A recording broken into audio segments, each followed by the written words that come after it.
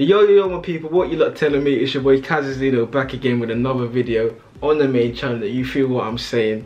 My last video I did an editing video time lapse because I wanted to switch up my content you feel what I'm saying, bring more value.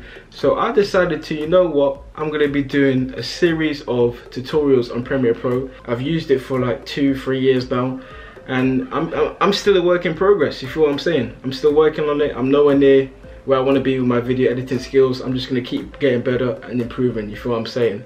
But in today's video, I'm going to be teaching you lot how to crop your footage. So let's go. Okay, now we are on Premiere Pro as you can see on my screen.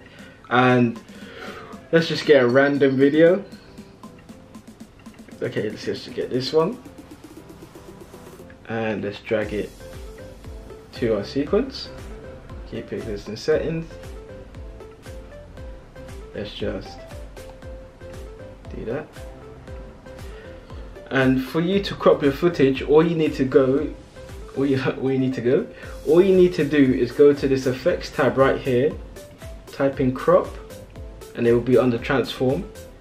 Then you want to drag it to your footage and you can see the effect controls. You just have to scroll down and you'll see the crop effects. If you want to do left that's left that's top that's right and that's bottom let's do how like you see it in movies and um, films so they do let's say 15 and the bottom let's make that 15 as well so that is how you crop your footage. This will be a series of quick tutorials, quick snappy tutorials, so you lot can just learn how to edit in Premiere Pro. I'm gonna keep improving my editing skills, and yeah, you lot will see me in the next one, and peace.